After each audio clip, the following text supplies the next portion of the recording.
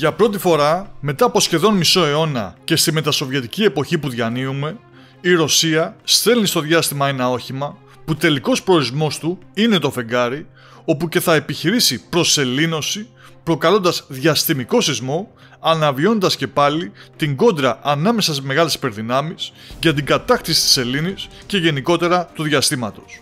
Η εκτόξευση πραγματοποιήθηκε στις 2 και 10 Μόσχας από το κοσμοδρόμιο Βοστόντσι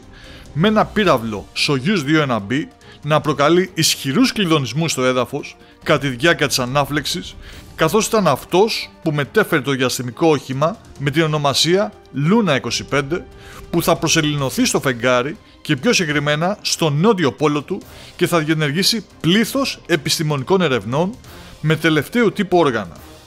Θα επεξεργαστεί την τεχνολογία ήπιας προσγείωσης, soft landing, θα πάρει και θα αναλύσει το έδαφος και θα πραγματοποιήσει μακροπρόθεσμη επιστημονική έρευνα συμπεριλαμβανομένη της μελέτης του ανώτερου στρώματο του πιφενειακού ρεγόλιθου στην περιοχή του νότιου πόλου τη Ελλήνη καθώς και εξώσφαιρας.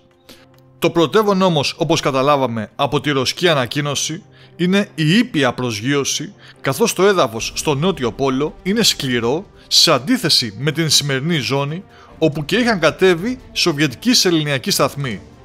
Στόχος φυσικά των Ρώσων είναι η έβρεση νερού η οποία θα δώσει το εύνασμα για να δημιουργηθεί σελενιακό σταθμός που αργότερα μπορεί να επανδρωθεί με ανθρώπους αφού από το νερό μπορεί να παραχθούν αρκετά αναγκαία υλικά.